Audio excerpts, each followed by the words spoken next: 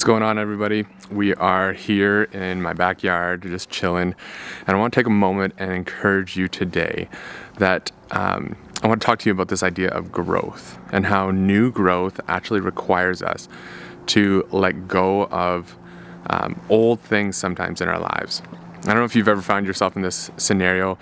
Uh, maybe we all have that piece of clothing in our closet, in our wardrobe that used to fit us you know, maybe it's like that old high school jacket or the pair of jeans that you used to wear.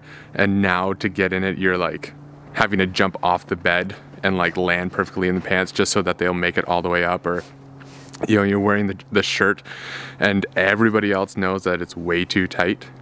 And there's this, this aspect of growth that requires us to actually let go of some old things in our lives.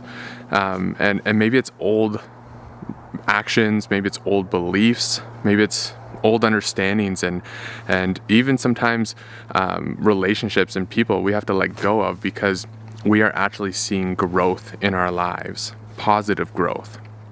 And so I want to encourage you today. Maybe you're in a season where you're seeing dramatic growth, or maybe you're seeing um, little steps of growth. But growth requires us to actually um, make room for for more capacity in our lives to let go of some things that actually start to constrict us and to to um, slow that growth down.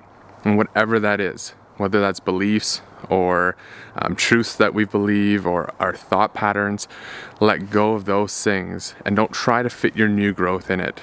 Let go of that and find new things that have capacity for that growth for the growth that is happening in your life today